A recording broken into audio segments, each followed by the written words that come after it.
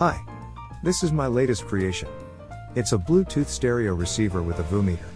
If you like it, subscribe to my channel.